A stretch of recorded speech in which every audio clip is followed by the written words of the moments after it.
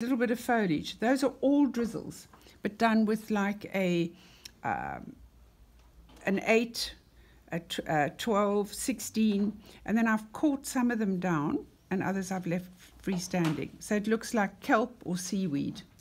Here you can see it done, I think it was on a teddy bear needle, and I used a very, very thick wool. That's number, oh, that, well, that's not drizzle. But you can, all my sheep are done with a drizzle stitch. And you can, um, you vary the length to get as shaggy a sheep or as closely shorn a sheep as you want. Shorn a sheep. Okay, so up, back in, just next to where you came up. So like the French knot, not in the same hole. You can see I've got one strand of the fabric between. Pull the thread out of your needle. So this is the complete opposite. I've got the needle trapped behind my fingers at the back, so it's like a rod on top and it's firm. And then I'm going to cast on on the back end of the needle. Again, it doesn't matter whether it's right-handed or left-handed. So you just keep on casting on until, depending on what you're creating, you've got your drizzle. I will do quite a few here and then explain to you how I caught the rows down.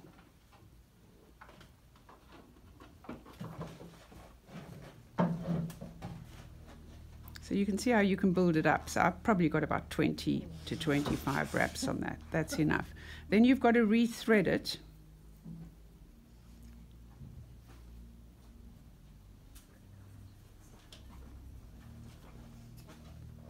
There. And then pull it through. Just make sure you put the, your finger in that loop so that it doesn't knot back on itself and then you can see you've got your loose drizzle. So what I did then for the rose was I just fiddled and laid it down and couched it into position so that I got a little 3D rose. You can take an, a a- another needle afterwards and do it or catch it down at the same time. I'm just going to do a little catching stitch.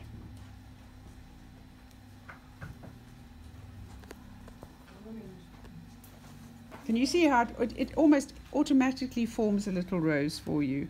I think I'm actually too far away, sorry, when you're filming me. Okay, so if I get that first one So closer. I'm a little lost here when you at, at the last part. So um, you put the needle back into it, or you just pull the drizzle up from the needle. I rethreaded the needle and took the thread through to the back. Oh, okay. Okay, so what I'm doing now is just catching this into place to make a little rose. Okay. That's just a bit of a fiddle and a faff.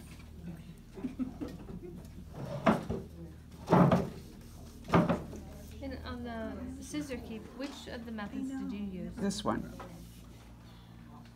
But I've used the other methods on, on different roses. You look at all my work and decide what you like doing, but play with the drizzle first. So come up. This thread's a little bit short. Oh, okay. Okay, so that's why it's slipping out of the. So with your your cast on and your drizzles, I'll say it again. Use a longer, th- slightly longer thread. Okay. Okay. So I just get that into position there. Couch it down. And voila. Well, it's it's just a bit of an artistic rose more than anything else. Mm-hmm. It's a Monet rose.